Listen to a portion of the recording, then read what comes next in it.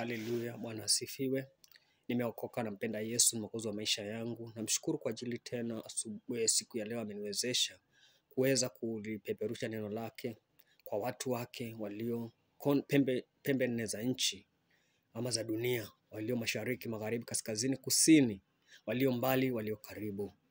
Hivyo asubuhi ya leo nakukaribisha, ama siku ya leo nakukaribisha mara tena ukapata kulisikia neno la Mungu.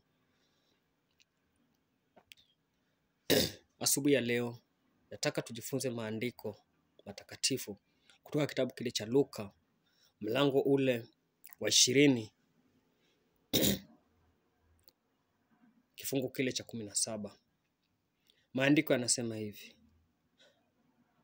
akawakazia macho akasema, maana yake nini basi neno hili lililoandikwa, jiwe alilolikataa waashi, hilo limekuwa jiwe kuu la pembeni. Kila mtu aangukaye juu ya jiwe hilo atavunjika vunjika, na yeyote ambaye litamwangukia litamsaga kabisa.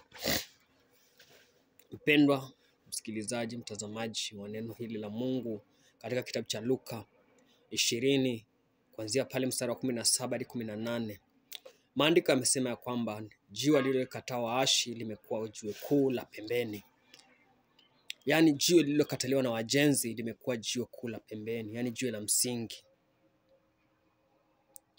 Na maandiko yamesema, Yesu akasema ya kwamba yote atakayeanguka katika lijue litamvunja vipande vipande, na yote ambayo litamwangukia litamsaga kabisa. Nataka kuongea kuhusu kusagwa kabisa. Wakristo wengi siku ya leo wamekuwa watu waliovunjika vipande vipande na wamepona, yaani walemavu wa kiroho. Ndio maana unapata mtu ameokoka bado yeye ni msherati, mtu ameokoka bado ni mnywaji wa pombe, mtu ameokoka bado ni, anafanya mambo ambayo hata mtu ambaye hajaokoka hawezi kuyafanya. Mtu yuko kanisani, anasoma neno la Mungu, anabeba Biblia, lakini bado anatenda maovu makuu ambayo hata mtu ambaye hamjui Mungu hawezi kutenda. Ina maana nini? Ni kweli ameanguka, ame, ni kweli ameokoka, lakini kwa nini anaendelea na maovu? Ni kwa sababu hakuweza kuangukiwa na hili jue la pembeni ambayo ni Yesu Kristo, amsage amfanye kiumbe kipya. Biblia inasema ya kwamba hata imekuwa mtu akiwa ndani ya Yesu Kristo amekuwa kiumbe kipya, ya kale yamepita, tazama amekuwa mapya. Hivyo wewe ulianguka juu ya lilo jiwe, wewe umevunjika vipande vipande. Kwa hivyo wewe ni mlemavu katika maisha yako ya kiroho. Wewe ni ule mtu ambaye siku zote unalalamika. Wewe siku zote ni ule mtu ambaye unasema, wakati watu wanasema uchumi ni mbaya, bado unasema uchumi ni mbaya. Wakati unasema watu wakinaposema hakuna matumaini, nao unasema hakuna matumaini. Wewe ni wale watu ambao hawana imani. Wewe ni wale watu ambao wako njia panda. Wewe ni wale ambao wanaona ya kwamba kuna mambo Mungu anaweza na kuna yale hawezi lakini nataka nikutie moyo siku ya leo, badilisha mwelekeo, uanze tena.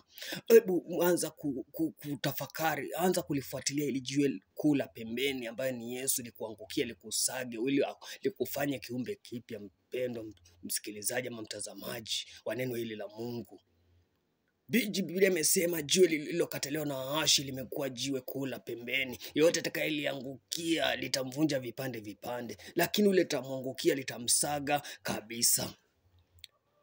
Nimekuwa nikisema katika ujumbe wangu wa awali ya kwamba wakati mwingi tunakataa kumngojea Mungu atutayarishe, tunakataa ku- ku- kungojea ile process ya Mungu, lakini siku ya leo nataka nikuambie kuna mwanzo mpya, kuna mwanzo mpya, kuna mwanzo mpya kwa Mungu. Hacha kujalishwa na wale watu wanatenda maovu. Wewe angalia nafsi yako, angalia roho yako, uanze tena. Neema ingalipo, bado kipenga akijalia, neema ingalipo. Kama mpendwa ungali uhai, wacha kuangalia kanisa, acha kuangalia wachungaji, angalia nafsi yako iokolewe. Asubuhi ya leo ningependa mpendwa ukapate kutafakari neno hili ya kwamba yote atakayeanguka juu ya jiwe la pembeni, maandiko yanasema ya kwamba atakayeangukia juu ya hilo jiwe litamvunja vipande vipande, lakini ule litakalomwangukia litamsaga kabisa.